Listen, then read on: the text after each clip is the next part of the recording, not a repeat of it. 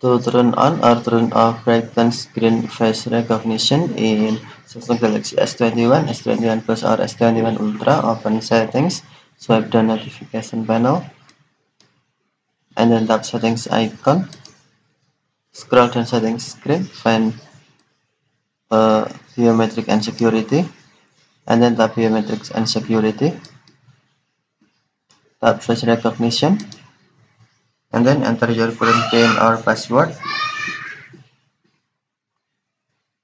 To turn on brighten screen tap switch switch until blue or to turn off tap switch until gray. Tap switch until blue to turn on or tap switch until gray to turn off. Increase screen brighten temporarily so you so your face can be recognized in the dark. Okay thank you for watching. Have a nice day